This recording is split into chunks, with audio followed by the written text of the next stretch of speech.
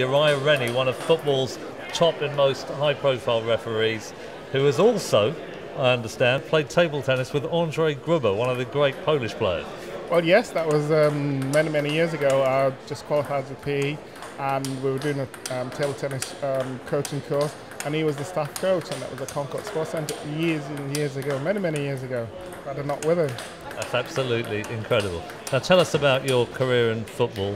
Got to be somebody who understands the rules very well, but you also need personal skills to be a good football referee. What, what's more important, the knowledge or the social? Well, I think it's the application. You know, you, you, you want to be respected. You're, you're, not there to be liked. All you need to do is make sure that you, you conduct the game, and then the players feel as though they they've had a good um, official.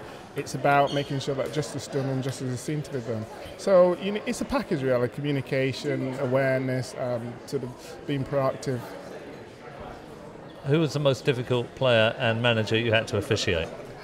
Oh, that's all very, very difficult. The reason why that's a difficult question is that there's so many, but more importantly, I'm still active, so it's very difficult to say what it is.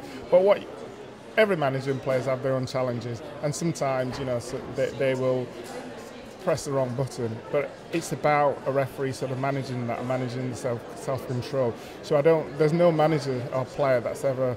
Um, done anything that made me want to lose it or, or I feel as though I can't handle it. So there are always challenges, but it's very difficult to answer.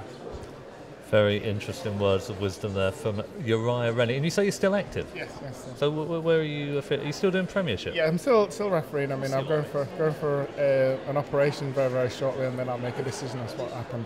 But it, coming to places like this, great to see so many different people and different sports. So you never know, might uh, might take it table tennis look out for Uriah on a table tennis table near you. Thanks so much.